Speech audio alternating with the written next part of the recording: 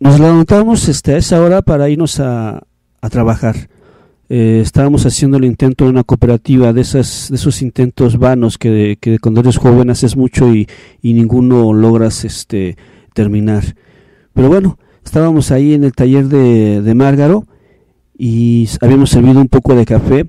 De pronto empezó, empezó a temblar todo, a, a, caerse todo, muchas cosas, entre ellas un jarro que se le hizo un hoyo y, y, creo que eso fue lo único que este, hubo así como de pérdidas. De ahí nos fuimos a, al metro y aunque la gente se veía asustada, se veía tranquila, no, no parecía que había pasado nada. De hecho, eh, comentaban, pero así como muy, muy esporádico, sin mucho interés. Cuando finalmente llegamos a Pino Suárez y, y nos desalojan, o sea, nos, nos sacan del metro, que no podía continuar más, eh, fue cuando nos dimos cuenta de la magnitud de lo que había sucedido. Eh, fue cuando nos dimos cuenta de que no fue un simple temblorcito. Las casas estaban destruidas, los edificios, eh, las alarmas se escuchaban por todos lados, se escuchaba una que otra ambulancia, una que otra este, patrulla, los bomberos, porque a pesar de que fue muy temprano, ya era tarde en ese momento y la respuesta del gobierno fue muy eh, muy deficiente, eh, muy tardía. Y bueno, eh, nos tocó ver todo eso y, realmente nos, nos, convencimos de que eh, había pasado muchas cosas muy graves. Eso fue el 85. fue muy grave.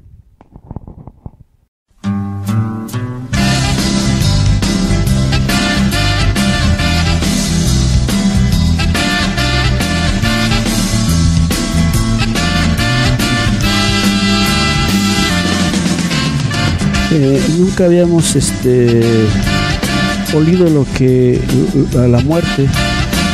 Y esa ocasión después de varios días eh, de los escombros salía ese ese olor tan peculiar ese olor a descomposición que nunca habíamos olido al menos no, no las no en los humanos y, me espantó mucho porque dije no puede ser Ay, mis compañeros me veían incrédulo y, y, y, y, alzaban los hombros y los encogían y decían ya que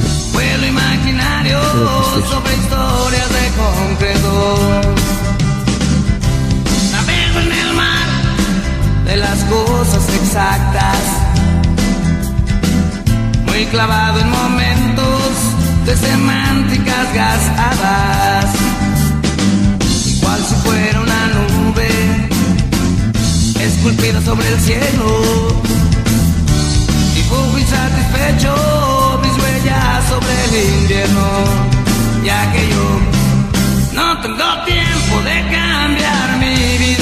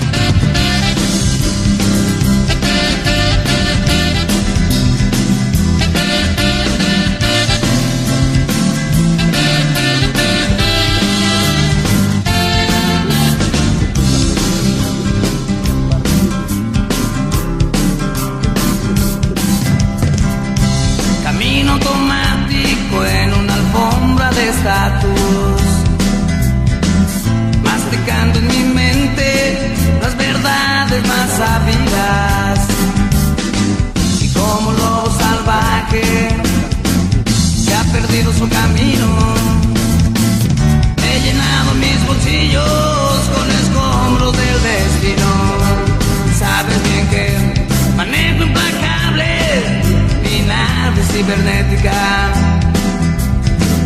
Entre aquel laberinto de los planetas muertos. Igual si fuera la espuma de un anuncio de cerveza.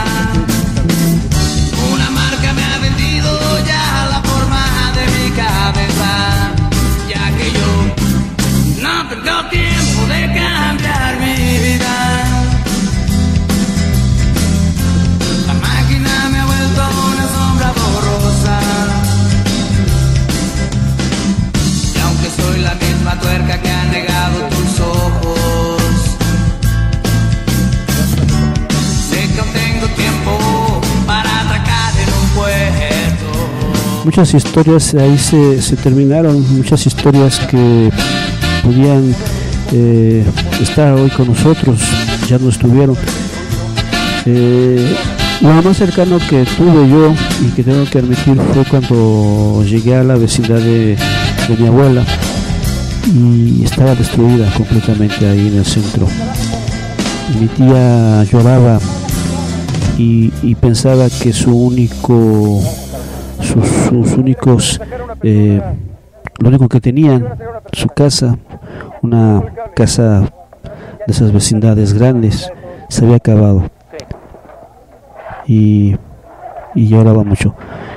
Yo decía entre mí, híjoles, qué curioso, ella lloraba una casa y otros lloran a sus muertos. Cosas de la vida. Estaba muy joven yo.